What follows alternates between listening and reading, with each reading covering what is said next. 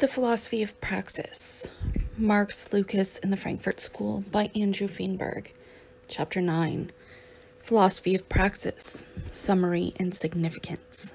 Introduction. In this concluding chapter, I begin with an analytical summary of the history of philosophy of praxis as a figure of thought. This has been our main concern throughout this book. But the philosophy of praxis raises questions for us today that do not have clear answers in this history. The later sections of this chapter consider two of these questions. Here's a brief preview of these sections. The failure of proletarian revolution has not ended the struggle against reification, but it has fragmented that struggle. How is the metacritique of reification affected by that change?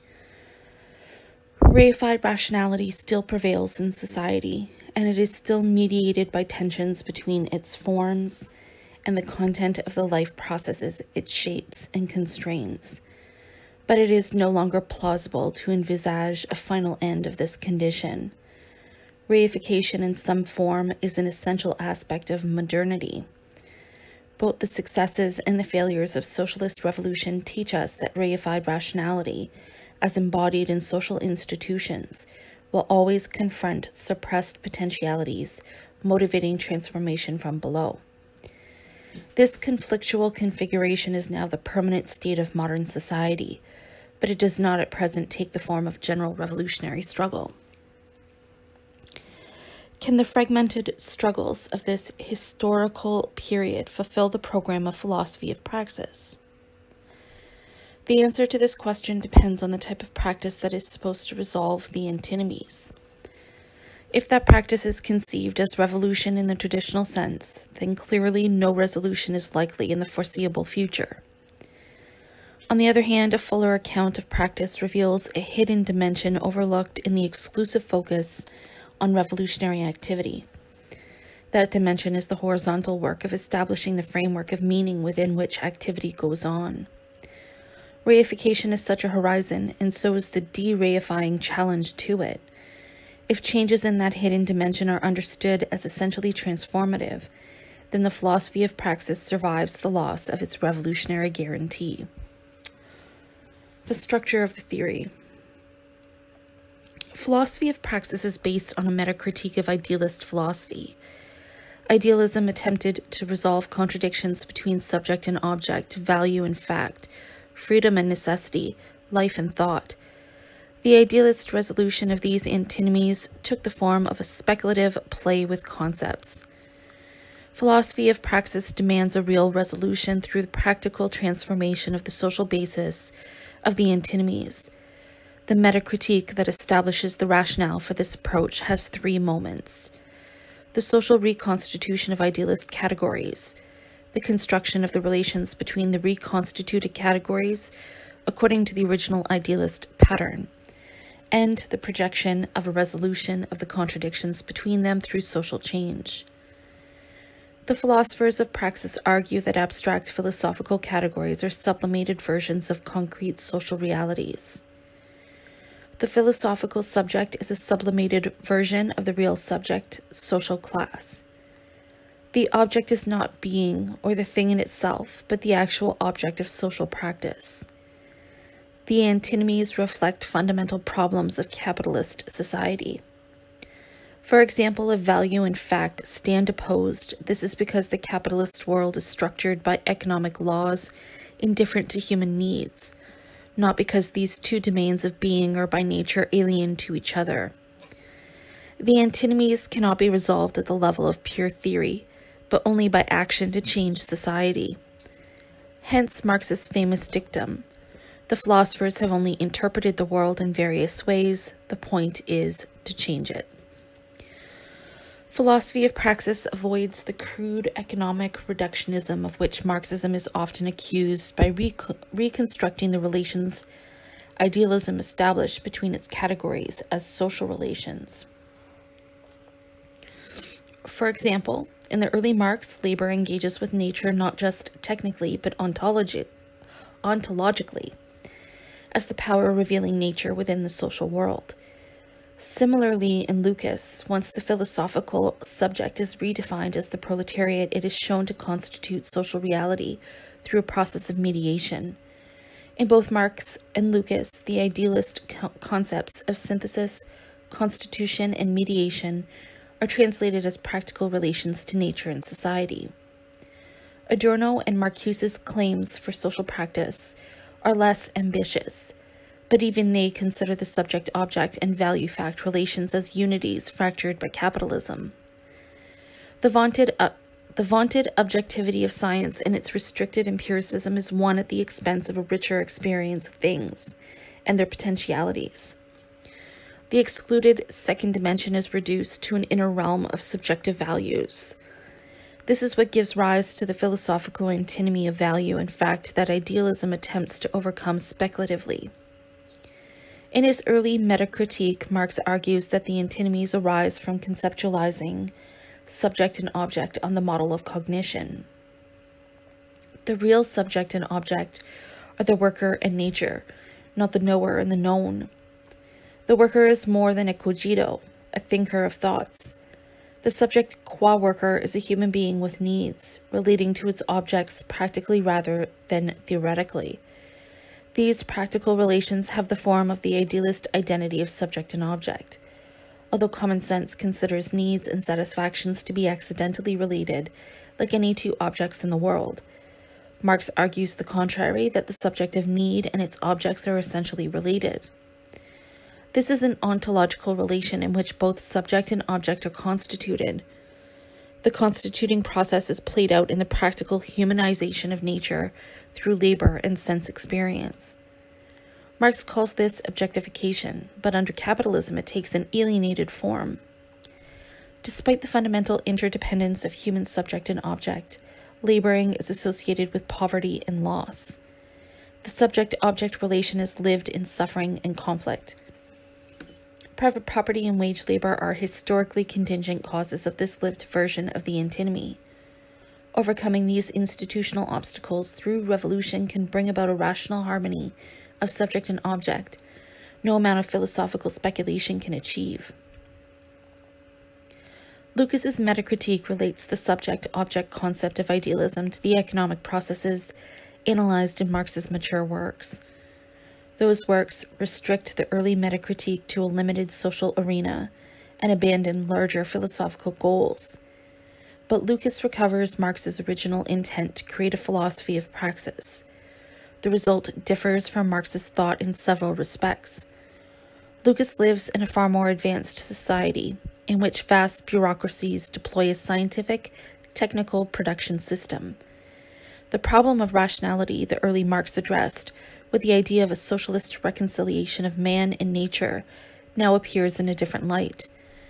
Rationality has split in two one form corresponding to a strictly instrumental relation to human beings and nature, reification, while another dialectical rationality belongs to the transforming practice in which the social and cultural world are revolutionized by the proletariat.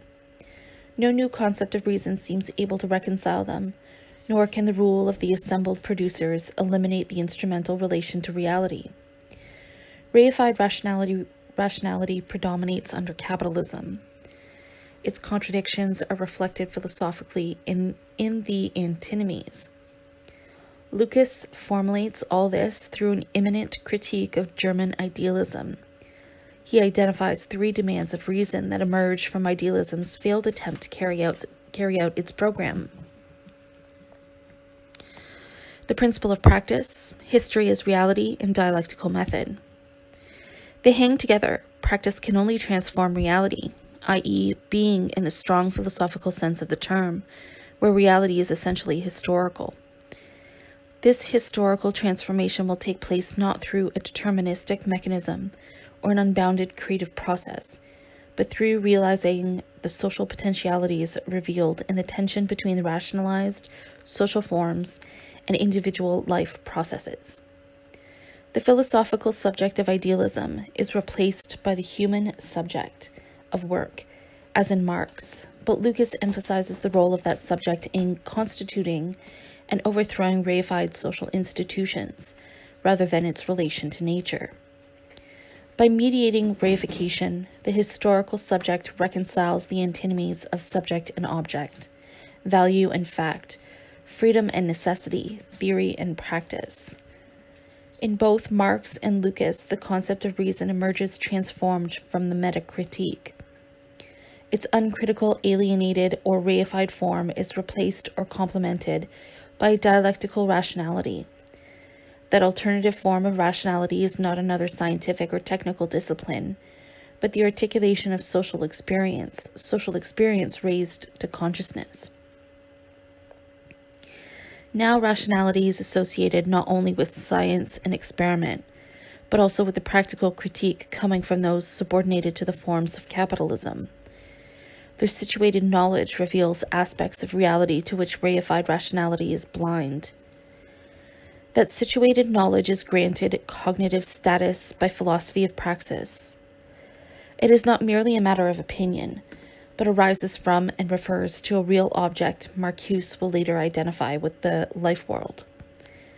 The metacritically reconstructed subject and object of the life world are ultimately real, Theory builds on the critical method immanently present in life worldly experience, not a pure reason in which philosophy of praxis no longer believes. This view contrasts with the scientific ideology that becomes increasingly influential from Lukacs's time down to the present. According to this ideology, experience is essentially flawed and subjective in contrast with the objective understanding of a purified cogito freed from all bonds of corporality, emotion, and situation. Philosophy of praxis dismisses this view from nowhere as a reflex of reification and imposes a finite horizon on the cognitive subject. It rejects idealism's thesis of the absolute autonomy of reason and relativizes the claims of naturalism by restricting scientific cognition to a limited aspect of the real.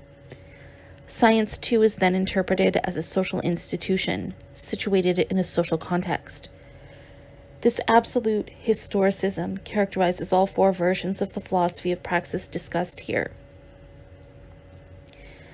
These are some of the main concepts of philosophy of praxis that the Frankfurt School elaborates in very different historical circumstances from Marx and Lukacs. Theory and practice are split apart. Horkheimer, Adorno, and Marcuse conclude that no proletarian movement promises to realize the demands of reason and reconcile humanity and nature. The Soviet Union resembles Weber's iron cage of bureaucracy far more than Marx's Paris Commune.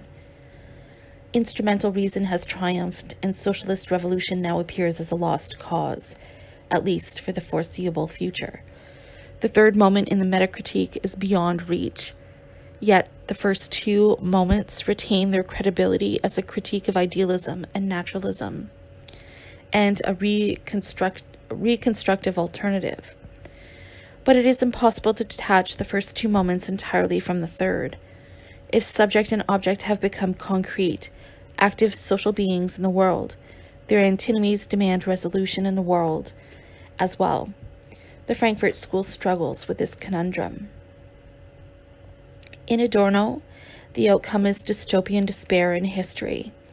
He argues that the thought and experience of the individuals in capitalist society have been radically distorted by the commodification of every aspect of social life. Abstract concepts replace a deeper understanding of the connections and potentialities of things. Experience is reduced to a mere reflection of the given, without the imaginative force required for self reflection. Instrumental rationality, unrestrained by any concept of potentialities and limits, threatens human survival with the increase in its technological power to exploit and destroy. In this critique, one sees the persistence of the ideal of harmony between human being and nature. But now that ideal promises no transformation, it simply devalues the present by contrast. In his late work, Marcuse arrives at a more positive position under the influence of the New Left the New Left practices a cultural politics that, while it lacks the power of a proletarian movement, at least goes beyond mere technical manipulation within the existing system. The movement testifies to the continuing possibility of practical critique beyond the one dimensionality of reified experience under capitalism. Radical experience, the new sensibility, is informed by an imaginative grasp of the blocked potentialities of a society that artificially maintains competition, poverty, and war, long after it has become rich and secure enough to dispense with these vestiges of an obsolete reality principle. The cultural movement has political expressions capable of catalyzing a much broader popular movement, as occurred in France in 1968 the unity of theory and practice is not fully restored by this argument, but its promise is renewed. Marcuse is the first philosopher of praxis to respond positively to the growth of technology. He argues that radical change must involve not only social transformation, but also technological transformation. A technology of liberation must be created to replace capitalism's technology of domination. The weak points in Marcuse's formulation are all too obvious today. I identified two principal ones in Chapter 8 the reliance on a normative grounding in the affirm- affirmation of life, which, while intuitively appealing, is vague, and the undifferentiated critique of science and technology that leads to the implausible demand for a new science. Nevertheless, despite these problems, Marcuse revives the philosophy of praxis. He succeeds, I believe, in opening up new ways of thinking about technology and experience, and the theory practice relationship that would result from their transformation. The accompanying table shows the main points of similarity between these philosophers. Several things become clear from the table. Adorno is the odd man out. Because he believes the unity of theory and practice has broken down completely, his position is quite different from the others but he shares enough with them that many of his ideas could serve as inspiration or confirmation of Marcuse's closely re- related version of philosophy of praxis. Marcuse believed the results of the breakdown of the unity of theory and praxis were partially compensated by a radical vision shared by critical theory and the movements of the New Left. This vision falls short of the unity envisaged by Marx and Lukacs, but it suffices to overcome Adorno's excessively pessimistic conclusion. I'm not going to read this um, table. But if you want to look at it, it's on page uh, 208. A second point of significance emerges from the table the variety of solutions to the conundrum of nature and history confronting the philosophy of praxis. Marx's most radical solution devalues the natural sciences as an illusion. He invokes some sort of new science that would transcend current science, just as social, socialism would transcend the capitalist economy. But this is quite implausible. The ambition to overthrow capitalism cannot be extended to the scientific basis of modern society. The problem is even more obvious in Lukacs. He attempts to extend the revolutionary paradigm to the whole field of rational institutions, including the economy and administ- administration, as well as science and technology, and ultimately to rationality as such. But when it comes to proposing a new concept of reason to replace the reified one, he runs into problems. He balks at the consequences of his own concept of mediation. His dialectic presupposes the very reification the revolution is supposed to overcome. The dialectic serves as a placeholder for a new reconciled concept of reason, but it cannot be substituted for the reified rationality embodied in the essential institution, institutions of modernity. That Lukacs was aware of the difficulty shows up in his philosophy of science. He treats the formal structure of scientific factuality as intrinsically social while sparing the contents of natural science from ideology critique. The distinction between genesis and validity diffuses the original Marxian critique of science. Adorno rejects the absolutization of either nature or history, and so does not quite affirm history as reality. Instead of a theory, he proposes a chiasmus. Nature is historical and history is natural. If nature is identified with the struggle for survival, then indeed it has penetrated history in the form of the violent assault of human beings on nature and each other. History is natural insofar as it is based on that struggle. On the other hand, nature is not an eternal given, but evolves as human understanding and technical practice alter its form. Marcuse argues that nature is a subject and as such deserves respect. Of course, the nature in question is not that of natural science, but the nature of the life world. He does not anthropomorphize this nature as Habermas charged, but rather attempts to reconstruct the concept of essential potentiality in historical terms. Lived nature belongs to history insofar as it contains potentialities that can be realized by social revolution. In this respect, it contrasts with the merely manip- manipulable nature of techno- technological rationality. How lived nature is supposed to relate to the nature of natural science is unclear in Marcuse's thought. He is misled by a lingering fidelity to a, co- to a concept of revolution that dictates an epistemological transformation when extended to reason as such.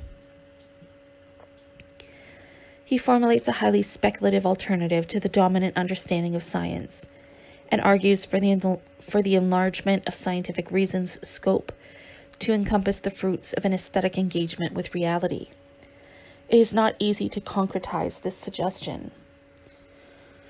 Marcuse's position makes more sense in its, uh, its application to technology, the application of aesthetic criteria and the imaginative construction of the potentialities implicated in technological design are hardly controversial.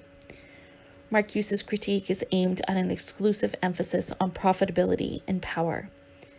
But although plausible in its general lines, the absence of a clear distinction between science and technology leaves his argument vulnerable to all sorts of critical abuse.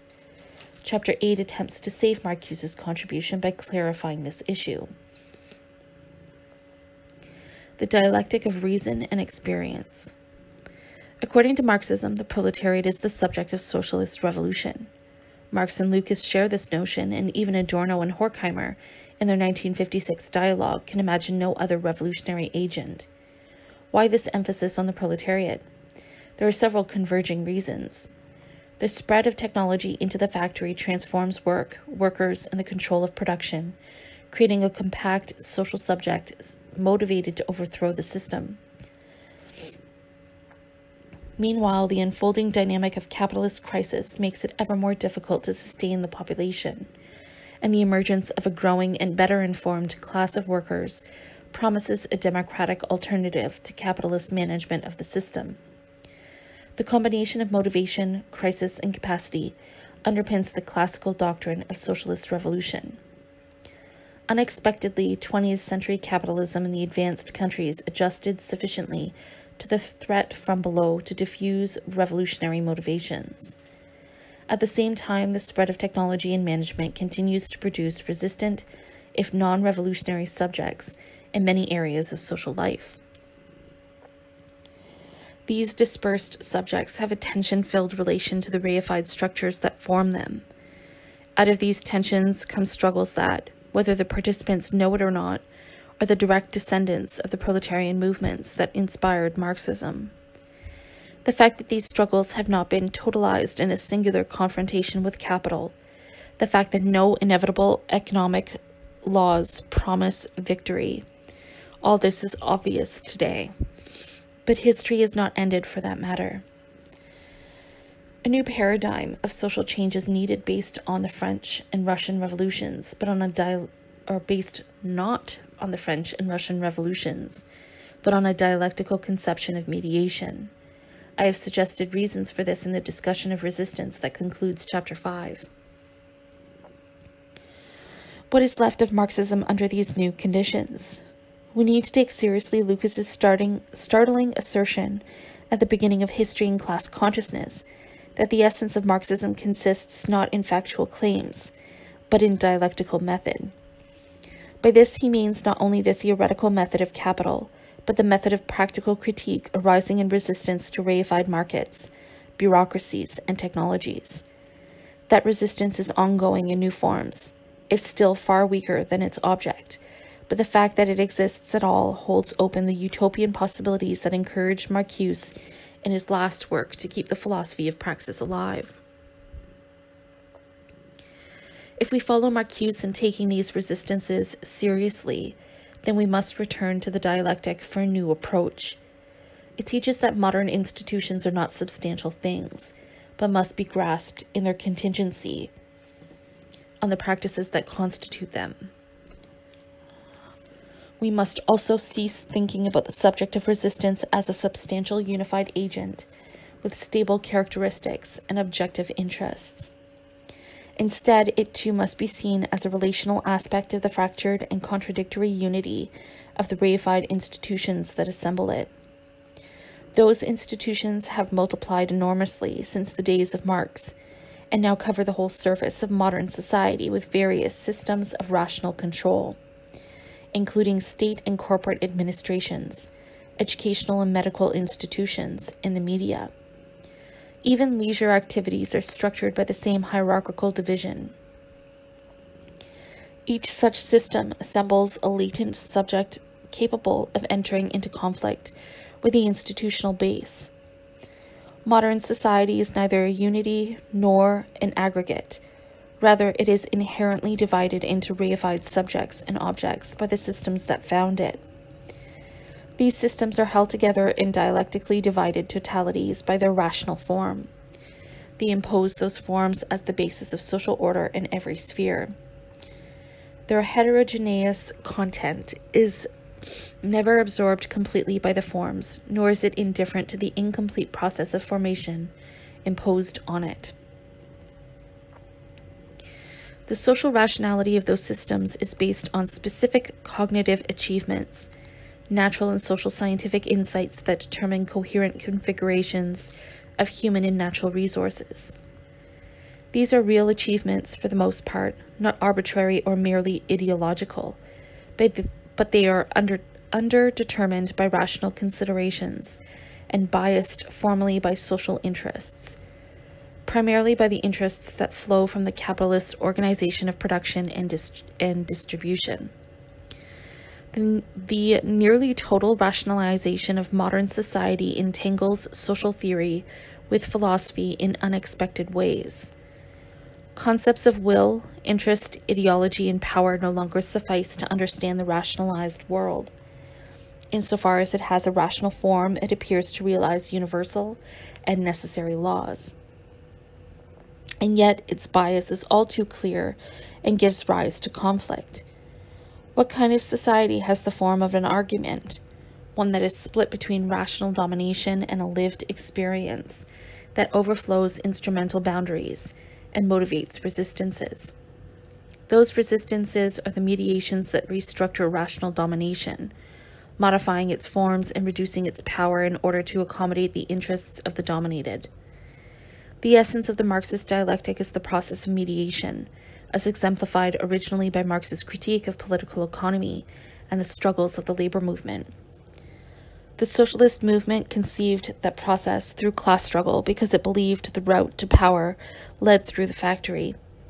This obscured the cognitive aspect of mediation and gave rise to unrealistic revolutionary expectations.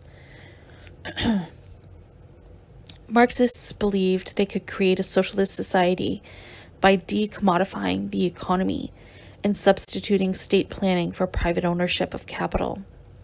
But the overthrow of capitalism does no more than inaugurate a new phase in the struggle with reification. Lukacs is more aware of this fact than most of his contemporaries. He envisages a long term struggle rather than a brief and decisive coup. But he equivocates on the role of reification after the revolution. Lukacs knows that no modern society can function without structures. The revolution cannot, therefore, institute a society in which all institutions are dissolved into temporary political arrangements. At one point, he suggests the possibility of a new kind of non reified stabilization. But this suggestion is not developed beyond a brief note. I wonder if he had any idea what post revolutionary structures would be like, if not some version of the market bureaucracy, and technology evolved under capitalism. Workers' councils might choose managers instead of boards of directors, and economic planning might replace the banking system. But these modifications of the capitalist inheritance do not abolish reification, root, and branch. Under socialism, at best, reified institutions would no longer be as well armored against change from below as under capitalism. This conception of socialism has political implications. The conflictual interactions in which most mediation consists can only flourish in a democracy. The contestation in which the process of mediation goes on presupposes respect for basic democratic principles, human rights, and the will of the majority.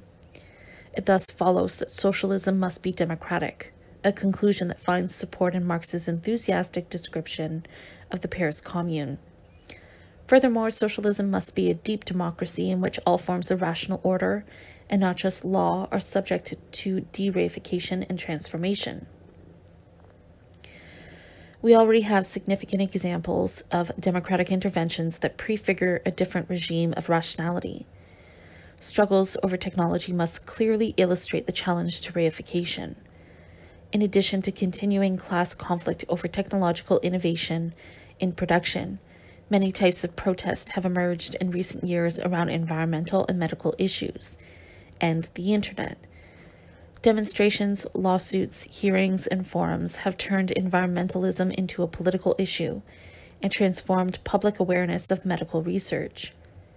Online protests over control of the internet and hacking have created a new information politics most remarkable is occasional lay participation in the work of scientific experimentation and technical design. Although their scope and effectiveness are still severely limited, interventions such as these enlarge the public, public sphere and anticipate a more democratic form of modern society. Yet they have been systematically underestimated and ignored by political theorists. Where they are noticed at all, resistances are generally viewed not dialectically, but from the one sided perspective of the dominant. From that perspective, rationality stands opposed to, ignor- to ignorance and disorder. But the reality is quite different. Rational domination is biased not only by the usual errors, prejudices, and traditions that threaten everything human beings think and do, but by two problems of principle that stem from the very nature of reification and require democratic correction. These problems have to do with specialization and control. Everything is connected in the real world, but reification differentiates the totality into fragmented parts. Disciplinary specializations follow the reified pattern in isolating particular cross sections of the totality for analytical treatment. The cognitive advantages of specialization are undeniable but it can lead to unanticipated problems in the application. For example, not infrequently, engineers design a production process or a device that is hazardous for the workers who use it. Once it is deployed, medical complications ensue, and another specialization must be called in to deal with non engineering aspects of the concrete system formed by the device and the worker's physiology. In the best of cases, the combination of specializations initiates an in in iterative iterative design process that resolves the problems. Who is likely to first notice the limitations of the engineer's useful but narrow conception of reality? There is no meta discipline able to predict the need to integrate multiple forms of disciplinary knowledge. Another source of knowledge must come into play knowledge from below based on real world experience. Such knowledge is frequently occasioned by overlooked harms of technology or unexploited technical potentials that have not been identified by the technologists themselves, but which users can imagine and even in some cases implement on their own. The chief contemporary examples of these two categories are the medical harms of industrial pollution and the communicative potentials of the internet. There's a second systemic problem with reification the challenge of control. This is reason's original sin. Technical control of human beings leads to decisions that inspire resistance, not just for contingent motives, but structurally, necessarily. Consider, for example, the dilemma of capitalist management that must keep up with technological advances while reproducing its control of a more or less antagonistic labor force. These twin requirements have determined the technical code of capitalism based on authoritarian management, de-skilling, and automation. Alternative and more humane paths of progress have been foreclosed, and this pattern has been generalized to other social domains. For example, the politics of energy is biased by the imperative requirement of energy companies to enlarge their centrally controlled grids. Alternative sources of energy and conservation have been marginalized. The internet originated in a decentralized logic. But, to, but today, is in the grip of struggles over control that threaten to bring it into conformity with the general pattern. The point is not to argue for the dissolution of all these rationalized systems, but the extent of centralization and its consequences are very much worth questioning. Resistance to heavy handed controls and inhumane policies leads to conflicts, and eventually to restructuring domination in less oppressive forms. This is not a conventional political process. Democratic interventions must be translated by technical professionals into new regulations and designs. Struggle gives rise to new technical codes both for particular types of, of artifacts and even for whole technological domains. This is an essential form of activism in a rationalized society. It limits the autonomy of experts in capitalist management and forces them to redesign the worlds they create to represent a wide, wider range of interests. The translated demands are assimilated by the institutions and may lead in turn to future iterations of the struggle, further contestation. This is the logic of reification and mediation, and it is insurpassable. I call it democratic rational- rationalization because it reproduces rational institutions in response to pressure from below. Transforming praxis. The contemporary relevance of the concept of practice developed in these pages should be the subject of another book, but I do want to offer some tentative thoughts here in conclusion. What I have called transforming practice is characterized by the following following attributes. 1. Transforming practice is aimed at meaning. 2. Meaning is not subjective, but is enacted in practice and raised to consciousness. Three meanings are entangled with each other in a cultural system that forms the horizon of thought and action. Four, insofar as it is enacted, culture ha- has system effects that are more or often less intended consciously by social actors. Five, culture does not exhaust social reality, but stands in tension with the forces it evokes. In what follows, I will summarize the formulations of this concept in Marx, Lukacs, and the Frankfurt School, and consider how it might be applied to contemporary social movements. We have seen how Marx and Lukacs attempt to break through the barrier of alienated and reified cultural forms to a reflexive concept of transforming practice. Their attempts establish the foundations of philosophy of praxis, but also lead to an exaggerated notion of activity. In Marx's manuscripts, practice takes on the creative power of the divinity. untransformed nature is treated as mere matter awaiting the human touch.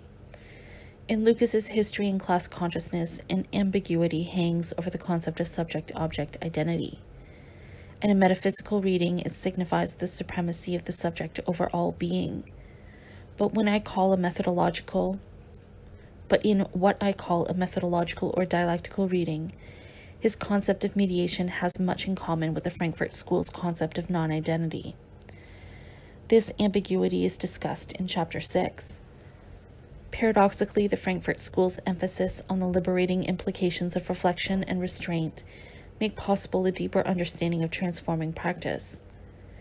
The notion of a non exploitative relation to nature is too easily caricatured as hippie nonsense.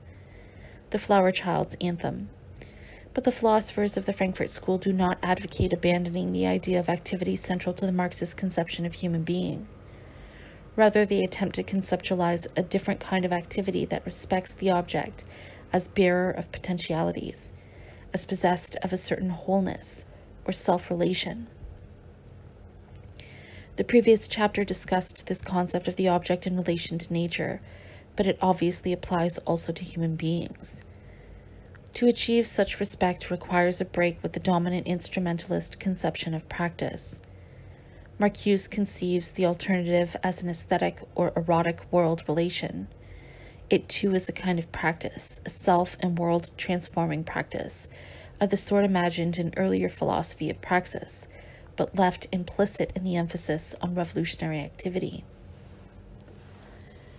This implicit practice appears passive since it is not characterized by manipulation and control, but it nevertheless has an effect on the world through politics of meaning that, as Lukacs argues, alters the functional place of objects in the totality. Even reified practice contains such a non instrumental moment, a moment in which a horizon of meaning is posited under which the active work of change goes on. In his prescient reflections on technology, Francis Bacon famously defined the relation between this special type of passiv- passivity and activity, writing, nature to be commanded must be obeyed. The technical actor must obey the commands of nature, its laws. He can use the laws for his own ends, but to do so he must accept them. This could very well serve as an uncritical definition of reification. In their implicit self understanding under capitalism, the individuals define themselves as individuals rather than as members of a collective. This is the horizon they posit and under which they generally act. As a result, they cannot act together. Their command of society is strictly limited by obedience to the individualist capitalist framework that serves as the law of their practice. Pace Bacon, this framework is not natural. Following Ian Angus, we can say it is instituted. He suggests an expanded meaning of institution in which it refers to the opening of a space from which new temporal order comes forth and applies both to a formation of knowledge and an epoch of being. This, descri- this describes reification as an a priori basis of thought and action. The worst harms of reification arise not from the instituting moment per se, but from its systematic misconstruction in class society as an ontological principle beyond all mediation by the subject. Thus, practice is narrowed to its overtly active dimension, while the establishment of its horizon is conceptualized con- contemplatively as an unchangeable objectivity to which human beings must adapt. Since reified practice cannot act on its horizon, the more vigorous its exertions, the more effectively it reproduces the very framework of assumptions within which it is condemned to operate. But this is not a fateful necessity. A non instrumental action transforming the horizon is possible. Philosophy of praxis recognizes horizontal transformation in this sense, but that creates a certain tension with the Marxist concept of revolution. In what does transforming practice most essentially consist? Action on the horizon of action, or the action made possible by that action.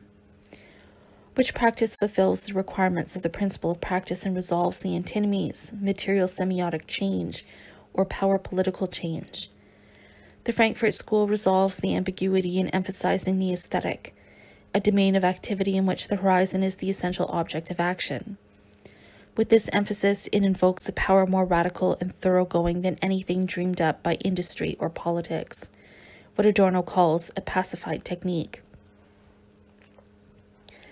The Frankfurt School's emphasis on aesthetics is overly narrow but suggestive.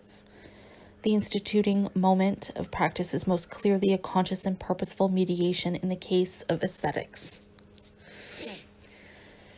This is so for several reasons. Aesthetic practice begins by freely positing a form as a horizon of the ordinary instrumental actions through which the work is created. The imaginative freedom characteristic of aesthetic practice enables idealizing strategies that signify unfulfilled potentialities of the social world.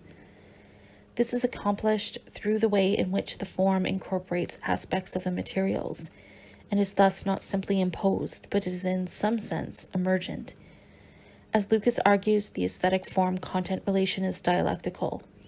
Concept and object interact productively.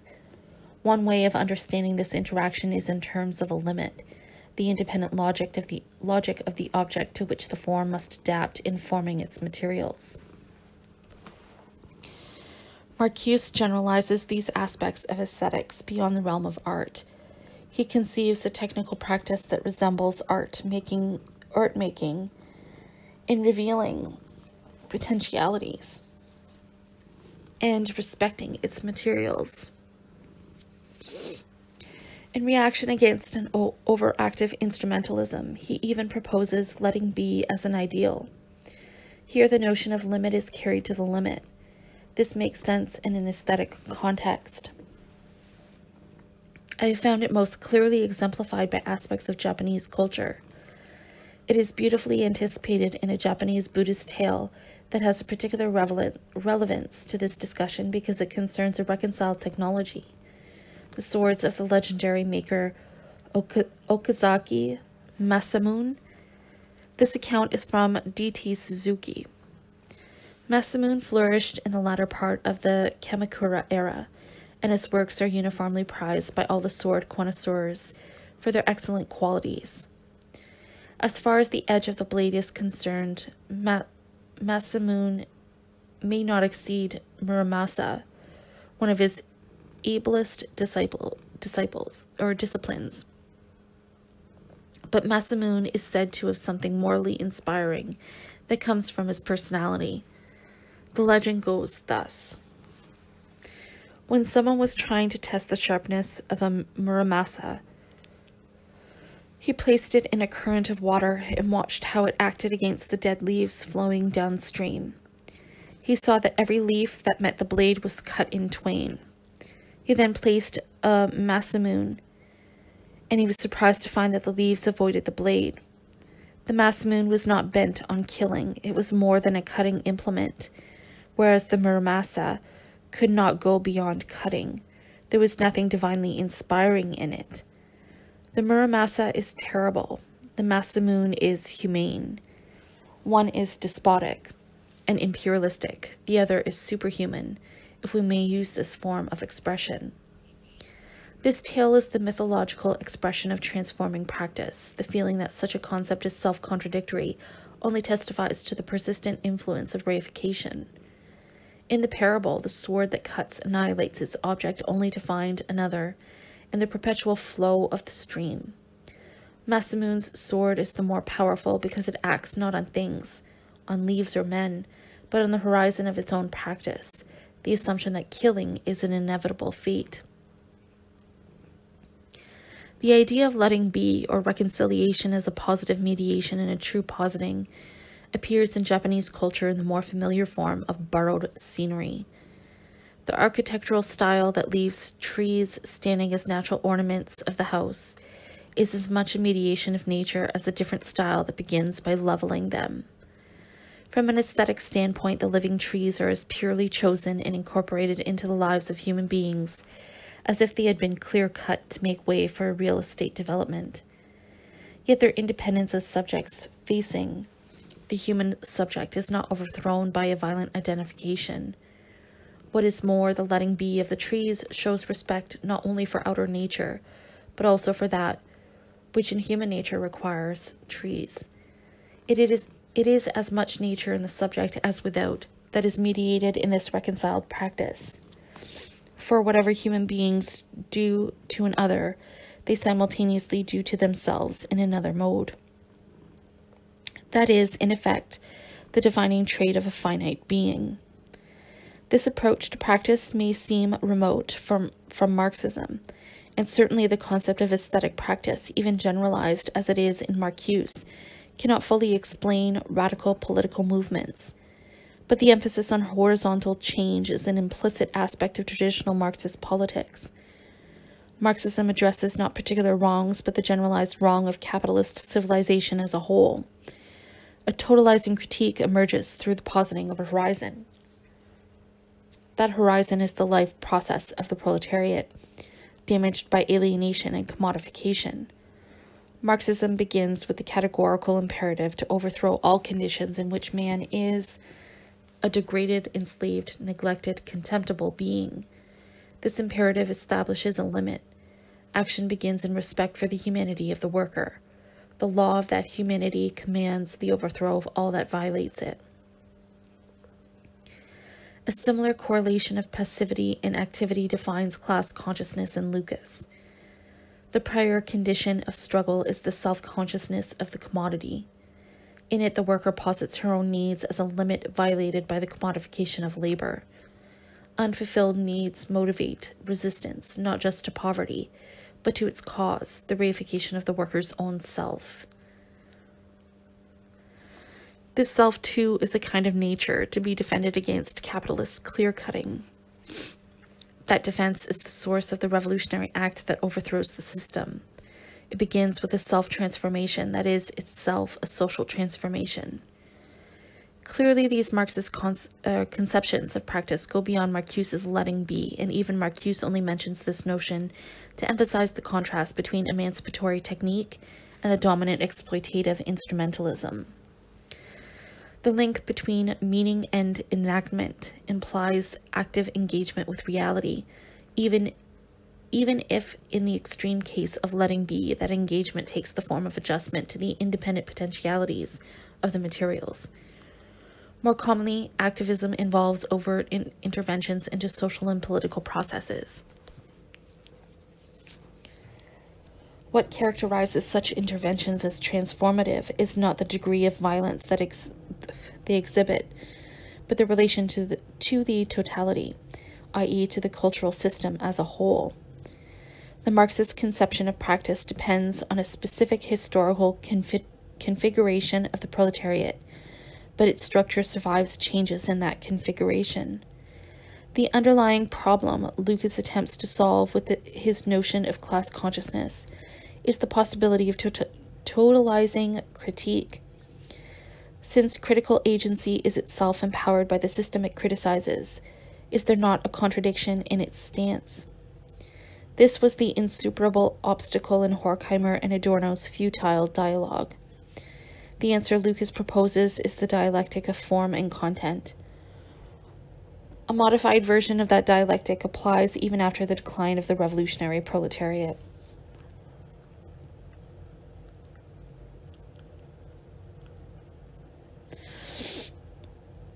Societies impose forms on contents they activate and shape, evoke and channel. There's no guarantee that the forms will effectively contain the contents. The culture of rule in every society addresses the gaps with prescriptions and solutions of various sorts, such as religious ideology and administrative initiatives.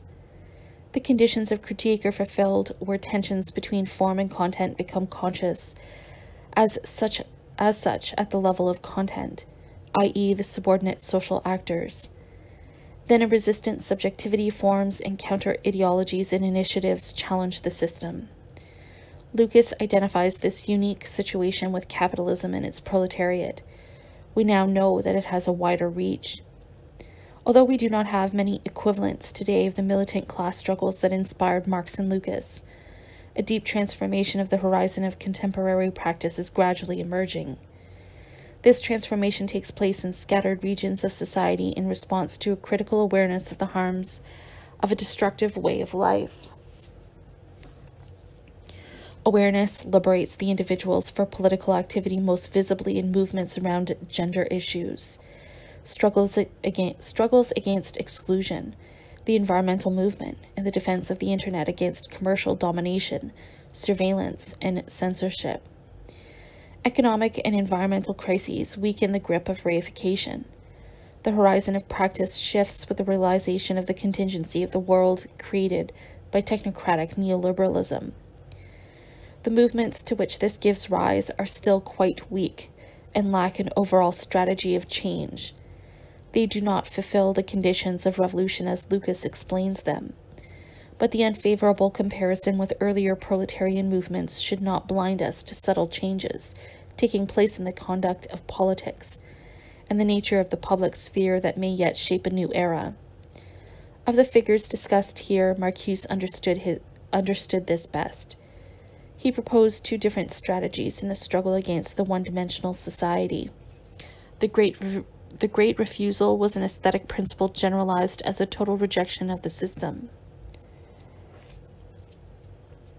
This strategy recapitulated old debates that opposed reform to revolution. Uncompromising and absolute critique was an attractive stance in the context of a dystopian society, rich enough to co opt every demand in any case. But ironically, the search for the uncooptable demand led to Marcuse himself becoming an icon in the mass culture of 1968, a fact from which his reputation suffers to this day. A new configuration emerged in the 1970s that Marcuse called the preventative counter revolution. Co-opta- cooptation, cooptation continued, but became supplemented by recession and repression. The new left disintegrated, but left behind a large critical public and a sense of suppressed possibilities. Marcuse now echoed the German slogan, a long march through the institutions. In a time of political eclipse, one must find a place in the institutions of, of society. I have hiccups. but it is still possible to bring contestation to bear on those institutions accepting the likely ambiguity of the outcome. Demanding the overthrow of the system is not the touchstone, touchstone of resistance it might be in a time of revolutionary ferment. These two strategies exemplify two different versions of the dialectic.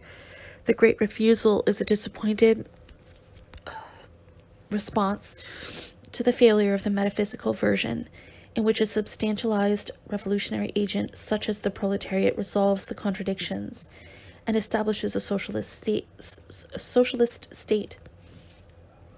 The Long March reflects the dialectic of permanent mediation of rational institutions by their members. I argue for the disruptive thesis, disruptive for traditional Marxism, that is, that only the second version makes sense today as a theory of progressive social change.